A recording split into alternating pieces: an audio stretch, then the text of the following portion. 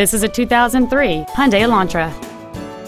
It has a 2.0-liter four-cylinder engine and a five-speed manual transmission. Its top features include a rear window defroster, an anti-lock braking system, and cruise control.